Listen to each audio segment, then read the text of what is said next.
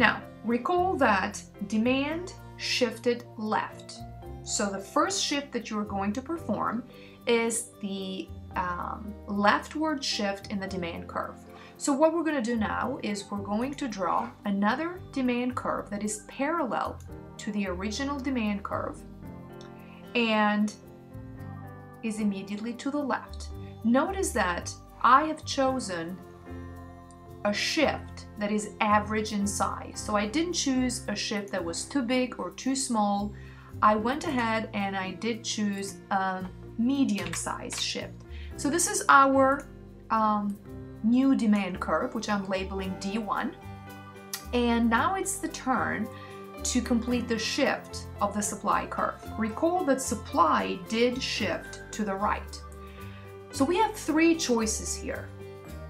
We could shift the supply curve to the right in three different ways.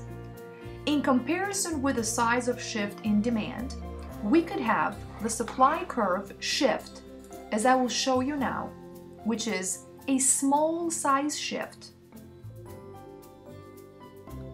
something like this. I could also have the same supply curve shift about the same size than the shift in demand, which would be a situation like this. Or I could have the supply curve shift much more than the shift in demand, which would be a situation like this. I'm almost there. Which clearly is much bigger than the size of shift in demand. So we have three scenarios. The question is, which shift is the correct one?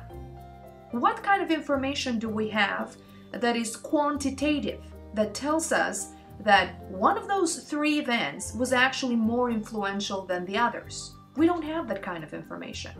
So because we don't know from the given information which size of shift is bigger in comparison to the others, we're going to have to consider all scenarios. So we're going to have to consider same size, smaller size, and larger uh, size shifts in supply compared to demand.